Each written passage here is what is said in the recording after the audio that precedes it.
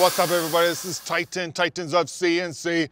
Ooh, and today is a good day because we just got our Tormach 1300 PL plasma table, a new technology coming to our floor right here, right now. My guys are taking it in the shop. It's gonna be amazing. So we got CNC machines, we got robots, we got all kinds of technologies, and now we have plasma for all the fabricators out there. So my guys are getting it in the shop. We're taking it out of the box. We're gonna place it, run electrical, and we're gonna start cutting. Boom, let's go check it out.